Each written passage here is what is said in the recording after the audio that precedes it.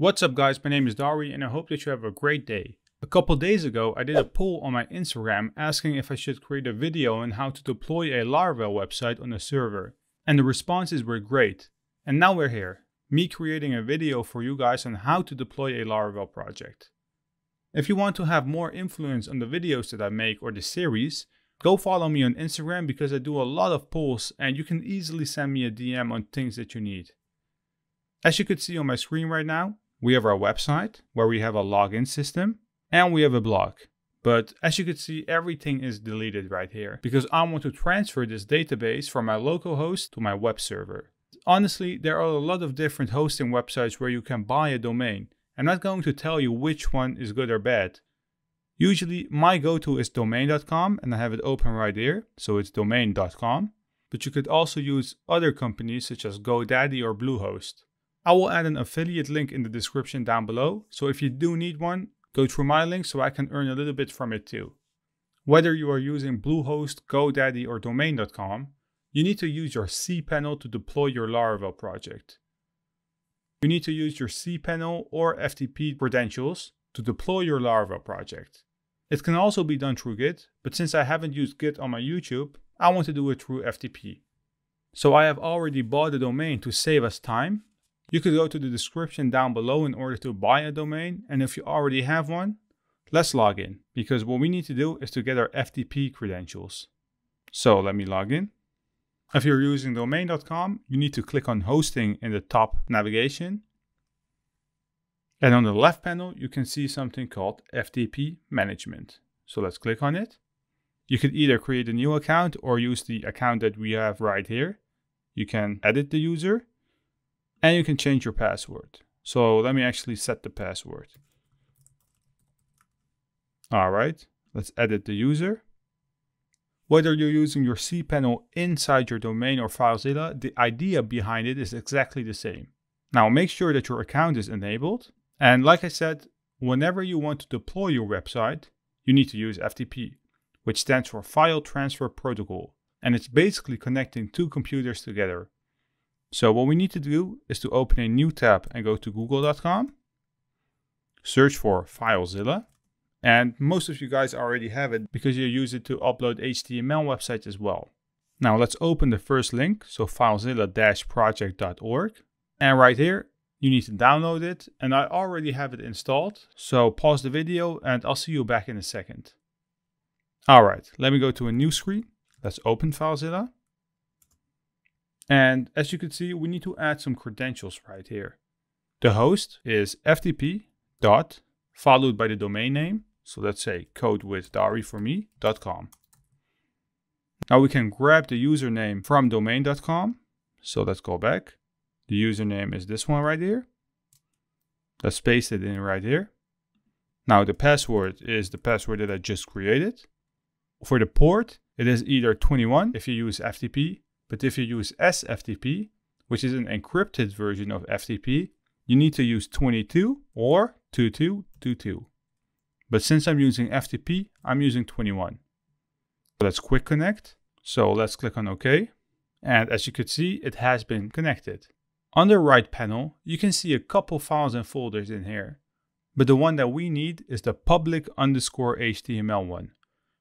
But before I continue on, I want to set up our database first. So let's go back to the browser.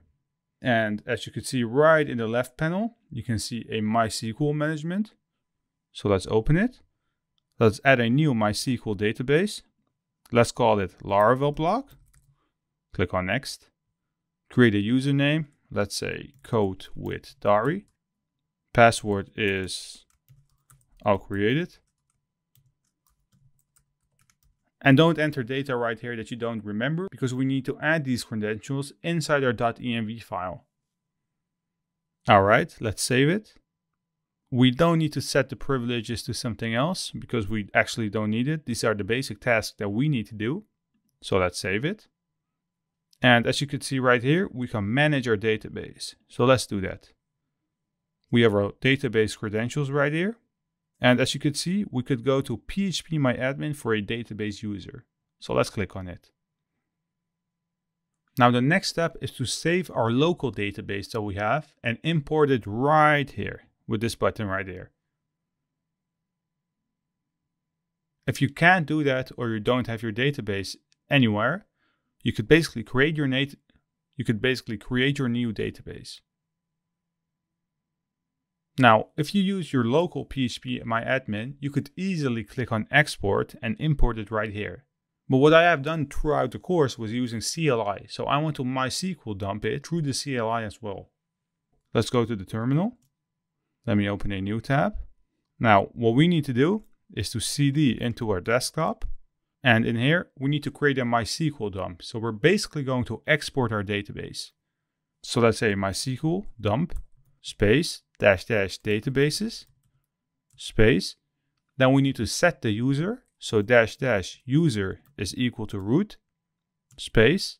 You could also set the password right here, but the best way to do it is to just write down dash dash password and to not set it equal to a value. And what this will do is basically ask you for a password after you have performed this command. Then we need to say which database we want to dump. So in my case, it's Laravel blog. Then we need to say greater than, followed with the name of our SQL file.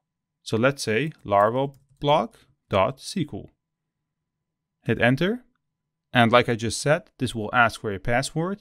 And be aware that this isn't the login password of your computer or laptop. It's basically your MySQL password. So let's say, for me, Dary1234. Hit enter.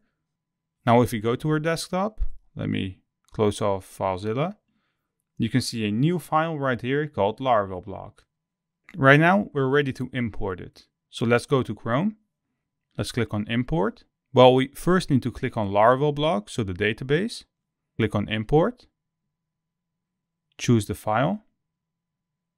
And let's go to desktop and open the laravel.sql. Let's click on go. Now our database has been imported with 61 queries. And as you can see, we have our tables failed underscore jobs, migrations, password resets, posts, and users. What we need to do next is to go to FileZilla. So let me open it again. And let me actually make it bigger. So what we need to do is to find our Laravel project first. So mine is stored on users, Dary, a file called desktop right here, obviously. I have a workspace, and in here I have Laravel 8 complete blog. So let's open it, open Laravel blog. Whenever you're uploading a basic HTML website, you usually will upload it right into the public underscore HTML that we have right here. Now, that's not something you want to do when using a Laravel application. This is mainly because everything inside the public underscore HTML folder will be visible for all visitors, and that's not what we want, right?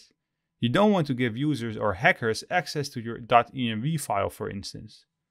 So on the right panel, which is our shared server, we need to create a new folder, so a new directory called Laravel blog.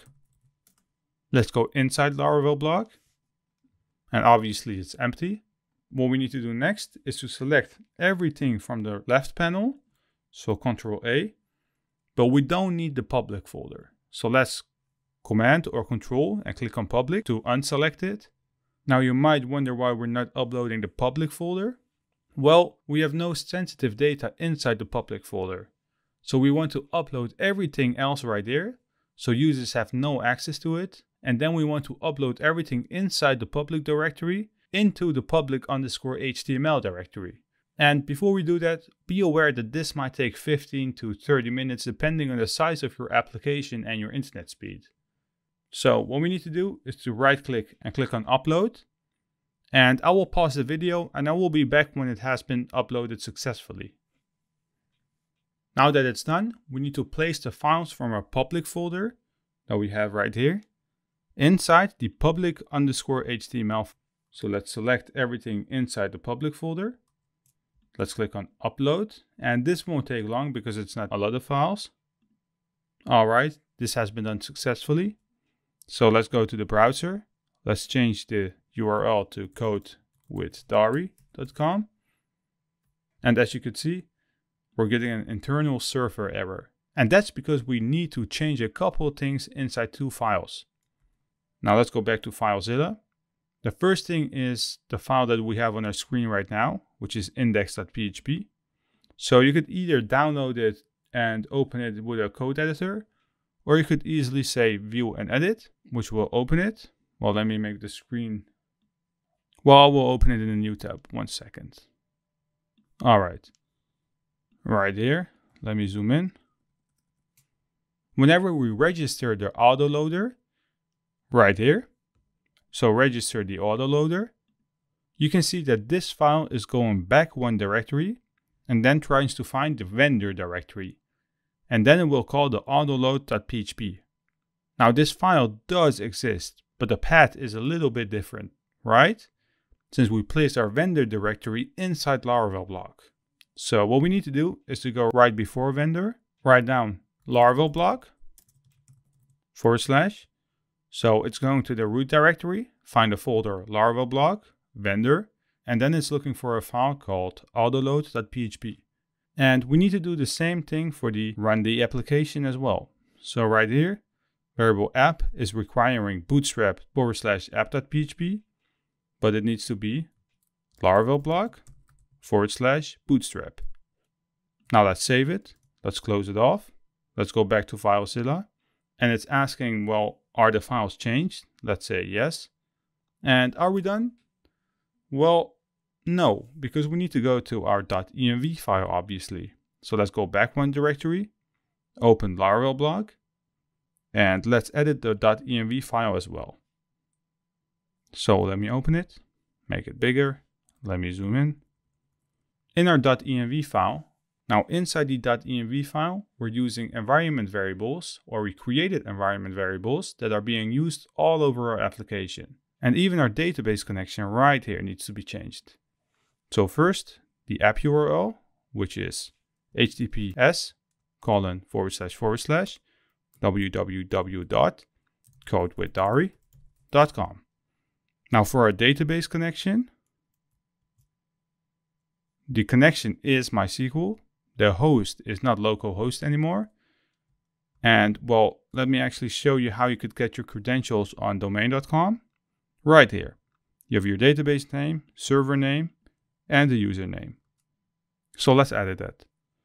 Our database host is info 500a3.domain.com The port is alright, the database name is Laravel, and I will change my username and password and I will blur it out. Let's go back to FileZilla. Let's click on yes. Let's go back to the browser. And let's refresh our host. Depending on your connection, this might take a while, so let's refresh the browser. As you can see, everything has been uploaded to the server. Now what's next? Well, let's test our database. Let's register. Let's create an account. So code with Dary info. Let's add a password. Let's register. Alright, this works. And as you could see, a user has been added, so our database connection works as well. This was it for this video. I showed you how you could easily upload a website through FileZilla.